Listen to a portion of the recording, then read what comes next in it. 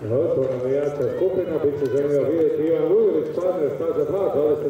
22-16 ove sezone, Bruno Penjezić, Agram u stazi 3, 22-03, vodeći na tablicama, Agustin 4, Ivan Vujović staza 5 i Penjezić ovdje e, istrija na prvo mjesto, e, Ivezić treći, Vujović drugi, a Penjezić pobjeđuje sa 22-37.